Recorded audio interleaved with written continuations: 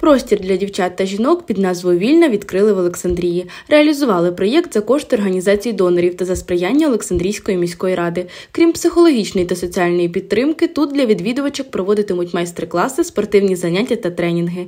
Такі простори вже працюють у багатьох містах України, переважно в обласних центрах. Двері офісу Вільна відкриті з середи по п'ятницю за адресою проспект Соборний, 92. Е, Благодійний фонд Посмішка ЮА разом з ООН у галузі народонаселення ЮНФІПІ за фінансуванням USAID відчили, відкрили дружній простір для жінок та дівчат. У фокусі турбота для жінок та дівчат, їх фізичне та психологічне оновлення. Війна мене навчила тому, що крім базових послуг, які може надавати міська влада, це там освіта, медицина, культура, для людини дуже важливо і те, як вона може себе реалізувати.